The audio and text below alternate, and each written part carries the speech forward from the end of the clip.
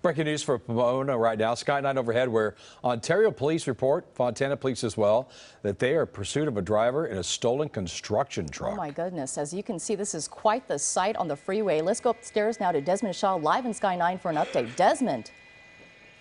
Susie, Jeff, this is unbelievable. On a scale of 1 out of 10, I think this is a 12. Look at, first of all, all the sparks that are coming out of this work truck. Now, here's the thing. This all started with another stolen vehicle last night, and then this truck was carjacked today in the, while that pursuit was going on. The driver got out of the vehicle that was allegedly stolen last night and then carjacked this construction vehicle. An insane amount of sparks coming out of the back of this truck as we're westbound on the 10. At one point, the driver of this vehicle was on the wrong side of the freeway. They were going westbound in the eastbound lanes, been on the wrong side of some streets. I think that that, uh, that this trailer right here. Oh no! Oh, innocent person right there. Ah, just slammed right into them, and now the trailer is sparking and beginning to fishtail.